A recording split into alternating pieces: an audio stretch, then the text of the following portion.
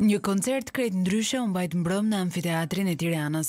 Muzika qytetare jehoi nga interpretimi i artistëve me aftësi të veçanta, të cilët skenën e ndanë me emra të njohur të muzikës shqiptare. Mungesa e shikimit nuk i ka penguar të zhvillojnë talentet e tyre, Dhe t'i tregojnë publikut se muzika tejkalon çdo kufizim. Një artistë të mrekullueshëm, me shumë dimensione.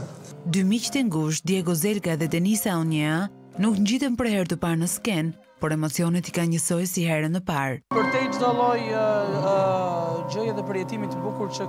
Ne kemi marrë në këtë koncert dhe përtej çdo lloj performance artistike, një gjë e bukur për ne është se do të kemi edhe një duet në skenë bashkë, do të jetë edhe një përjetim shumë i bukur miqësor mes nesh. Unë e kam marrë seriozisht që në klasën e parë fillore, sepse kam filluar të studioj piano, pastaj pas ciklit tetëvjeçar studiova kanto, edhe shkollën e mesme dhe shkollën e lartë, mhm. edhe masterin, Po ti Diego? Unë ende jam në proces studimi dhe e përfundoj bachelorin domethënë për pak. Studioj për kanto, çka do aspirosh patjetër, skena të ardhme, sepse e ardhmja e një këngëtari dhe jeta e një këngëtari praktikisht është skena, kështu që patjetër që po. Po. Ne quhej koncerti që mblodhi artistët që gjuhë të përbashkët kishin talentin dhe muzikën, e që dëshmoi se të gjithë jemi njësoj. Gjatë këtyre viteve të bëjmë projekte të ndryshme me Denisën që do këndoj sot, është një soprano fantastike dhe me Francin e vlerësoj shumë si artist, shumë i veçantë e kam ndjekur gjatë këtyre viteve dhe